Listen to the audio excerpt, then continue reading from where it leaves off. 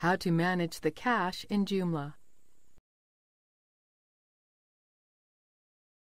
This tutorial assumes you are already logged in to your Joomla admin panel. Joomla will create temporary cache files to improve the performance of your site. If you have made any major changes, your cache files may be out of date, in which case you will need to clear your cache. Click Tools. Then Clean Cache. This page will allow you to delete specific cache files. Select the cache group. Scroll right. Click Delete. You may wish to purge all of your expired cache files.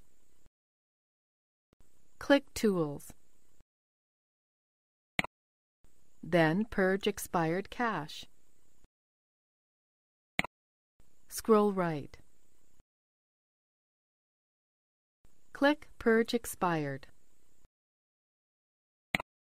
Purging all expired cache files may take up to several minutes on large sites that have many items.